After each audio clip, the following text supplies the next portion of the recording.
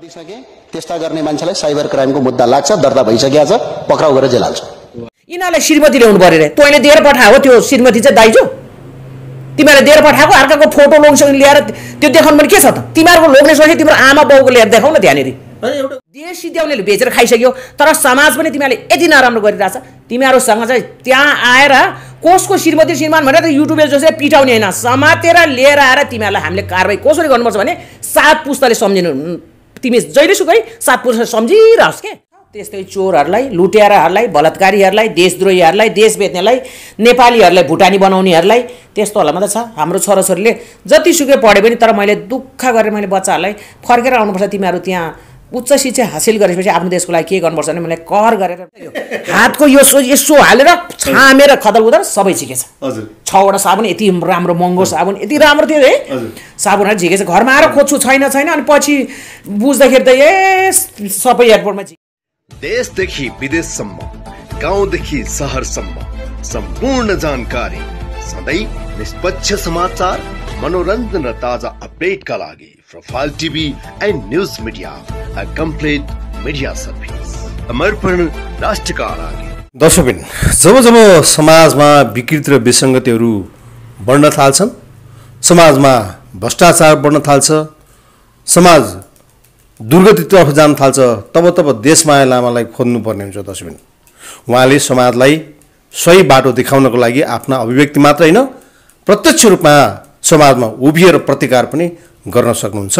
फ्रेममा देख्नुभएको छ देशमाया लामा हुनुहुन्छ बुद्ध शान्ति नेपालकै अध्यक्ष पनि हुन्छ उहाँलाई मैले लगभग लगभग पाँच दिन लगातार मैले प्रयास गरेँ केही कुराहरू बोल्नका लागि तर उहाँ व्यस्त हुनुभएको मैले खबर चाहिँ फेसबुक मार्फत थाहा पाएँ। उहाँको कान्छो छोरा चाहिँ विदेश जाँदै हुनुहुरहेछ त्यस अर्थले पनि उहाँ व्यस्त भएको कुरा भर्खर पनि मलाई जानकारी गर्नुभयो। तपाईँलाई थाहै छ देशमा कहिले सुनकाण्ड कहिले नुनकाण्ड त कहिले भुटानी शरणार्थी लगायत काण्डै काण्ड। कहिले त भन्न मन लाग्छ मलाई यो काठमाडौँ भन्दा पनि काण्डमाण्डु काण्डमाण्डु पनि भन्न मन लाग्छ मलाई। र यही कुरा जोड्न चाहन्छु आदिसँग दिदी नमस्ते। नमस्कार। तपाईँ व्यस्त रहनुभयो। अँ व्यस्त थिएँ। अलि दिन अलि दिन भयो। दस पन्ध्र दिन जति भयो एकदमै व्यस्त थिएँ। छोरालाई विदेश पठाउनु भयो? अँ छोरा गयो। है? त्यत्रो एउटा ग्रेजुएट गरेको चाहिँ छोरालाई फेरि विदेश विदेश पठाउनु भयो। यहाँ किन स्वदेशमा त्यस्तो खालको चाहिँ एउटा चाहिँ केही काम गर्नलाई अथवा त्यस्तो माहौल केही भएन? अनि त्यो माहौल त कस्तो मान्छे अब त्यो देख्नु भएन माहौल? होइन छ छनु चाहिँ तर कस्तो मान्छेहरूलाई छ भन्दाखेरि हिजो अस्ति भर्खरै घट्यो नि घटना एयरपोर्टमा। त्यो त्यस्तोहरूलाई होइन एक सय किलो सुन छिराउनेहरूलाई त्यहाँ छ जागिर। अनि सुन एक सय पचपन्न किलो ल्याउने मान्छेहरूलाई जागिर छ। अनि त्यो देश बेच्नेहरूलाई छ। हिजो अस्ति भर्खर एउटा त्यो सिनेमाङ्गलमा एउटा घरमा काम गर्ने युवतीलाई बलात्कार गर्नुलाई आफै दौडे नै आउने त्यो बुढो मान्छे जस्तो छ नि। हो त्यस्तोहरूलाई छ यो देशमा माउको कामहरू होइन जागिर कुर्जी सुर्ती फुर्ती सबै। सबै छ। तर हाम्रो छोराछोरी कस्तो भने आमाले त्यो वातावरणमा नराखेर। आमाको चाहिँ जति छ यसरी खानुपर्छ यस्तो गर्नुपर्छ मिहिनेत गर्नुपर्छ अरूलाई हामीले नराम्रो गर्नु हुँदैन भनेर चाहिँ अब छोराछोरीलाई त्यही नै सधैँ छोरालाई पढेर आए पनि शिक्षा दीक्षा भन्छ नि मान्छेले। स्कुलमा दिएकोले पुग्दैन के? घर लिएर पनि आमाले। यो संस्कार आफ्नो परिवारभित्र अथवा कसरी काम गर्नुपर्छ समाजमा कसरी जानुपर्छ छोराछोरी यस्तो गर्नुपर्छ भनेर सिकाउने छोराछोरी त्यस्ता सुन पचास किलो बोक्नु पनि जान्दैन एक कुइन्टल लानु पनि जान्दैन एउटा कस्तो भने एउटा भारी बोक्ने गयो नि एउटा एक्काइस वर्षको भुजेल भने। घर हेर्नु जाँदाखेरि तारामण्डल देख्ने रहेछ। तारामण्डल फेरि झिलिमिली बत्ती होइन। आकाशको के? आकाश तारा। आकाशको तारा देख्ने। घर। त्यस्तोमा बसेको छोरा अहिले त्यत्रो अरबौँको मालिक बनाएर कसरी फसाउँदो रहेछ। तर हाम्रो छोराछोरीले त हामीले त घरको संस्कार सिकाएको थियौँ। त्यसकारण बच्चाहरूले चाहिँ त्यस्तोमा जाँदैन। जागिर छ त्यस्तै चोरहरूलाई लुटेराहरूलाई बलात्कारीहरूलाई देशद्रोहीहरूलाई देश बेच्नेलाई नेपालीहरूलाई भुटानी बनाउनेहरूलाई त्यस्तोहरूलाई मात्रै छ। हाम्रो छोराछोरीले जतिसुकै पढे पनि तर मैले दुःख गरेर मैले बच्चाहरूलाई फर्केर आउनुपर्छ। तिमीहरू त्यहाँ उच्च शिक्षा हासिल गरेपछि आफ्नो देशको लागि के गर्नुपर्छ भने मैले कर गरेर मलाई बोलाएँ एउटा कुरा ठ्याक्क सोध्नु मलाई। जस्तो भनौँ न जस्तो अब हजुरहरूको त अब अब हुन त खट्दै हिँड्नु भएको छ घाम नभनी पानी नभनिकन नि। तर पनि जस्तो अब त हजुरहरूको रिटायर लाइफ नि हो नि त्यतिखेर। जस्तो छोराछोरीले कमाएर खाँदेर गर्नुपर्ने। हजुर जस्तो धेरै बाबामा हुनुहुन्छ होला जस्तो युवा आफ्ना हुर्के बढेका छोराछोरीलाई विदेश पठाउनु पर्ने अब यो सबैलाई विदेश पठाउनु थालेपछि त हजुर जस्तो मान्छे यहाँ घरमा हुनुहुन्छ झन् यी चोर डाँका फटा भ्रष्टाचार दलालहरूले चाहिँ हजुरलाई हेप्दैन नि त भने झन् झन् काम यो झन् पेलेर यो चाहिँ सजिलो हुन्छ नि त यिनीहरूलाई। बाटो खोल्छ नि त। होइन यो मान्छे कस्तो अचम्मै बुटी खाएर बसे मान्छे होइन के हरि भाइ अचम्मरीको बुटी खाएर यिनीहरू त रिटायर लाइफ हामीहरू त भर्खर उनासाठी वर्ष। त्योहरू त असीको सत्तरीको असी खसी मरिसकेको गोइ गुज्रेको लडेकोहरू नि त तिनीहरू त। तिनीहरू त त्यो पैसाले कोही बेला सिङ्गापुर होइन कोही बेला कहाँ बेलायत कोही बेला अमेरिका गएर सास डुप्लिकेट सास हालेर पानी विदेशको खाने। त्यो निल्नु पनि सकेका छन्। त्यसको पानी निल्दा घोग्रोबाट पानी छिरेको देखिरहेको छ क्या यिनीहरू धेरै अचम्मरीको बुटी खाएर सधैँ बाँध्ने भने हामीलाई के गर्ने भने त्यसले? त्यसको लागि हामीले केही गरेर जस्तो देशमा जस्तो हामीले- सबै वृद्ध वृद्ध भएपछि युवाहरू विदेश पलायन भएपछि यिनीहरूले लुट्न झन् सजिलो हुँदैन भन्न खोजेँ होइन के लुट्ने त्यसले भने? के लुट्ने लुटिसक्यो देशै नै अब सिधिसक्यो उसले बेचिसक्यो खाइसक्यो मान्छे अनि देश सिधेर नाला डाँडा काँडा बेचेर मान्छे बेचिसक्यो है? मान्छे त नेपालीहरूलाई त भुटानी भनेर बेचिसक्यो। अब त्यतिले नपुगेर अहिले कहाँ कहाँ के के गरेर ए म हे भगवान् म त अब के भनेर साध्य पनि छैन रहेछ। त्यसकारण छोराछोरीलाई एउटा आथे नेता रवि लामिछाने। अब देशको युवाहरू सब देशमा फर्काउने हो फर्काउने भन्दै थियो। फर्काउने होइन अब सबै त्यतैतिर तर्काउने भयो जम्मै हिँड्नु थाल्यो। पठाउने। अब उनीहरू आइसकेपछि त यति धेरै ताती लाएर गइरहेछ है भाइ। किनभने ऊ भनेको चाहिँ सानो त्यो ठुलो ठुलो ठुलो छ हजार वार्डको बत्तीको एउटा एउटा सोधेँ जस्तो हजुर पनि विदेश जानुभएको थियो नि होइन? म त जान्छु भाइ यस्तो? म जान्छु पाँच यस्तो एक पाँच छ महिनामा एक वर्षमा यस्तो जान्छु। जानु भएको छ नि म त? नेपालमा अब तपाईँलाई म ठ्याक्कै भन्छु उताबाट आउँदाखेरि कतिको चेक जाँच हुन्छ एयरपोर्टमा? कतिको चेक जानु भएको थियो? चेक जज हुन्छ कि तर म त केही पनि ल्याउँदिनँ नि त। चेक जज भयो भने मेरो त्यो सुर्केसहरू चाहिँ म त्यो भन्दिनँ। पहिल्यै फुटाइसकेर जब म साबुनधरि नै अमेरिकाबाट ल्याएको साबुनधरि चोरेको थिएँ कि त्यो एयरपोर्टको कर्मचारीले। सबै छवटा साबुन भाइ सत्य कुरा बोलेको छु कि? म त बुद्धिस्ट हो, म ढाँट्दिनँ। मेरो त्यो साबुन पनि चोरियो? छवटा साबुन यति राम्रो साबुन ल्याएको त्यो के को कसरी भने त्यो सेर गरेर के चिज हाल्ने रहेछ र अनि त्यो फस्नर हुन्छ नि। पाकपुक लगाएर त्यो चेन निकालेर कस्तो राम्रो राम्रो सामान केही पनि छैन घरमा आउँदाखेरि धन्न जुत्ताभित्र हालेको थियो कता कता यही यिनीहरूले झिक्ला भनेर त्यो मोबाइलहरू चाहिँ कहाँ कहाँ हाले त म त नचाहिने सुनेको जस्तो एयरपोर्टमा जस्तो हामी चाहिँ सामान सामान कलेक्सन गर्न एयरपोर्टमा राख्छौँ नि बाहिरबाट आएको। अनि कतिपयले त त यहाँ कुरा गर्दा गर्दै पछाडिबाट लात्ते भक्क हानेर ऊ कुना पुऱ्याउँछ अरे के? होइन कुरा। जस्तो हजुरसँग यो कति हजुर के भन्नु टिप्दै गर्यो? जस्तो यो जस्तो यहाँ नोट गर्यो। अनि लात्ताले पछाडिबाट ड्याङ हान्नु उता उता फालिदिने। अब त्यो चाहिँ अब अनि पछि त्यो सामान हुँदैन। जस्तो मेरै घरको कुरा हुन्छ भने सामान्य चाहिँ जागिर खाएको मान्छे एयरपोर्टमा अहिले पाँच तला घर बनाइसक्यो। एयरपोर्टमा चाहिँ त्यस्तो चाहिँ हुन्छ अरे लुट लुटतन्त्र। लुट्ने लुट्न पाउने। त्यो लाताले हानेर उसले सुनै आधा एक पाउ जति अथवा एक तला दुई तला फालेपछि त यस्तो छ धेरै म नै जाने फ्लाइटहरूमा होइन जतिपल्ट म आउँदाखेरि धेरै भएको छ क्या त्यस्तो। तर मैले चाहिँ हेर्दा नि हेरिनँ आफू जस्तो त्यस्तै सोचेर ब्यागहरू ए कहिले आउँला मेरो ब्याग भन्दा घुम्दै घुम्दै त्यो टलीबाट झिकेर लिएर म चाहिँ सुई सुई लाएर आएँ। आएपछि बोक्नु नसक्ने सामान आफ्नो सामान छ नि त चाहिने। म त कुनै भ्रष्टाचारी होइन कुनै ल्याउँदिनँ त्यहाँबाट केही पनि छकाएर होइन।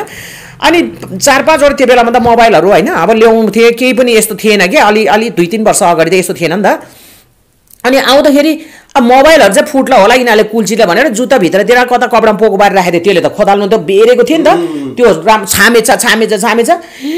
साबुन यति महँगो महँगो साबुन झिकेछ त्यो उता अमेरिकाबाट चाहिँ कोरियाको एयरपोर्टमा चाहिँ हामीहरूलाई ट्रान्सिट त्यहाँ थियो। त्यहाँबाट यस्तो राम्रो राम्रो चक्लेटहरू लिएर आएको थिएँ सबै झिकेछ भाइ। छैन।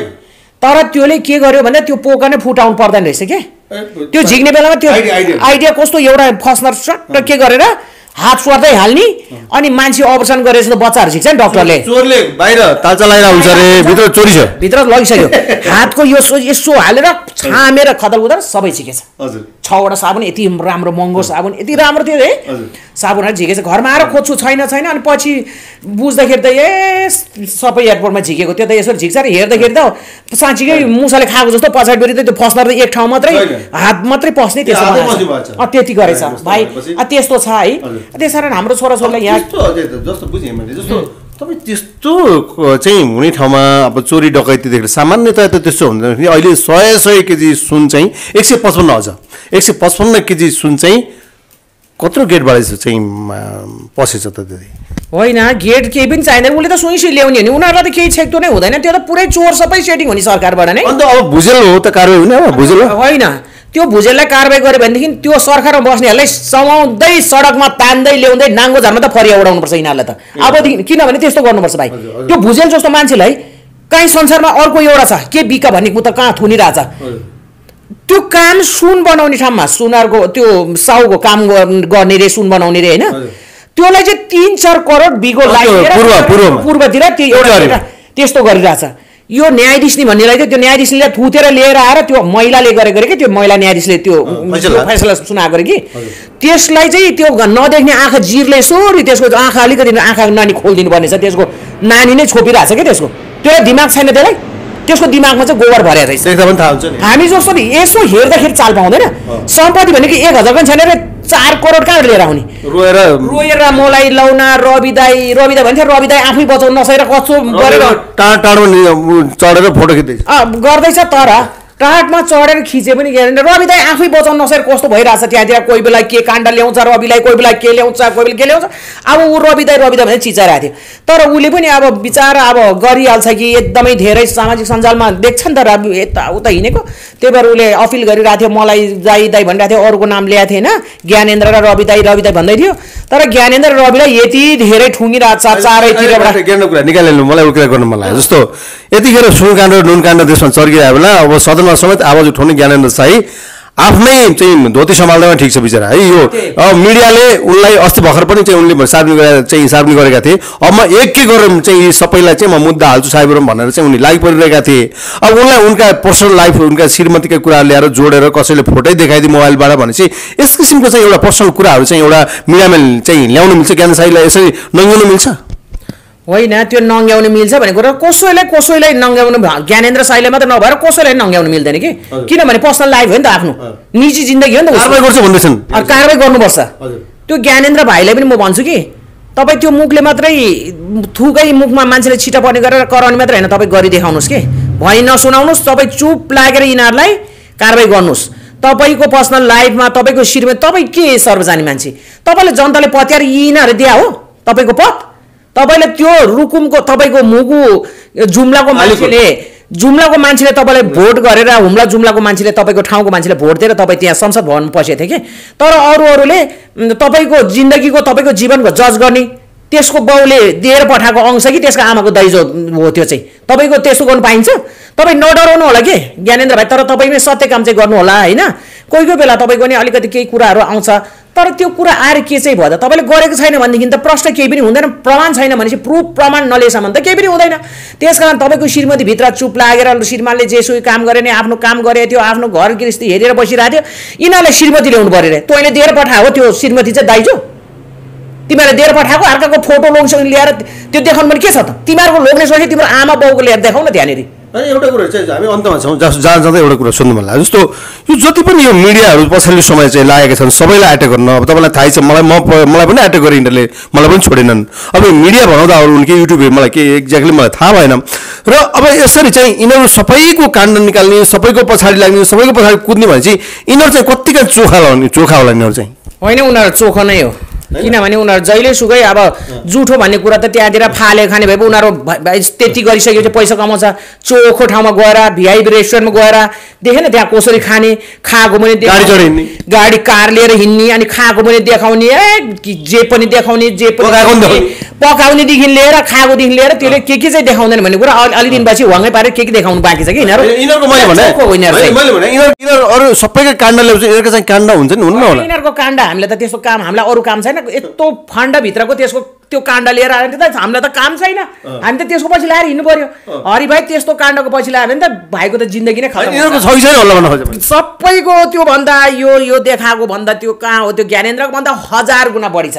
काण्ड मेरोमा आएको थियो। है त्यस्तोहरूको के काण्डै आएको थियो त यहाँ। कति धेरै ल्याएको थियो ल युट्युबेको? तपाईँले हेर्नु पर्यो यस्तो गर्यो यतिवटा श्रीमती कोही कोही यतिवटा केटा के के के आएको थियो। हामीले त त्यस्तो त अर्कालाई त गर होइन अर्कालाई खोज्दै हिँड्दाखेरि मैले जहिलेसुकै भन्छु नि त यसरी देखाउँदै यहाँ तिनवटा उलो यतै छ कि?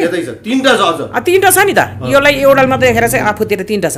अर्कालाई एउटा गल्ती देखायो आफ्नो तिनवटा गल्ती हुन्छ भन्न त्यो जुन मान्छेहरूलाई नाङ्गो बनाउँदै पिट्दै कुट्दै हिँड्ने शिरमा ए ल कुट कुट कुट भन्ने होइन। ए के छ त? अझै अझै त्यस्तो हो र? ए नाक मुखमा रगत आइसक्यो ए मेजर के छ त हँ? ठिक छ? अरे एउटा युट्युबले के? त्यो बोलेको थिएन। के छ अरे के रगत आइसकेपछि? तिमीहरूलाई याद गरेर बस। तिमीहरू धेरै दिन छैन तिमीहरूको दिन आउँदैछ तिमीहरू सब नाङ्गो झार भएर तिमीहरू यो देशबाटै पलायन हुनु पर्ला के? कसैले सुहाउँदैन अबदेखि। जो जसले नचाहिँदा गर्छ नि अर्काको श्री आफ्नो घरमा श्रीमती राम्रोसँग स्याहारेर बस्ने धेरैको काण्ड छ यहाँनिर। तर भने छैन।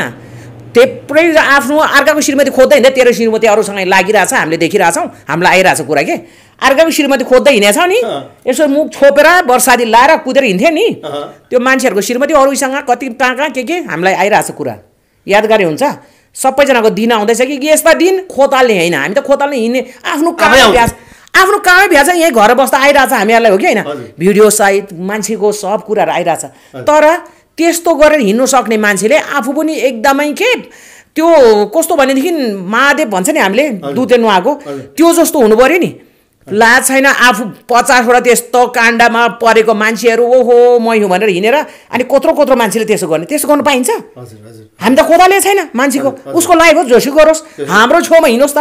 समातेर त्यो अर्काको लोग्नेसँग हिँड्ने आइमै पनि बाँकी राख्दिनँ अर्काको श्रीमतीसँग हिँड्ने लोग्ने मान्छे नि बाँकी त राख्दै राख्दैन। साँच्चीकै।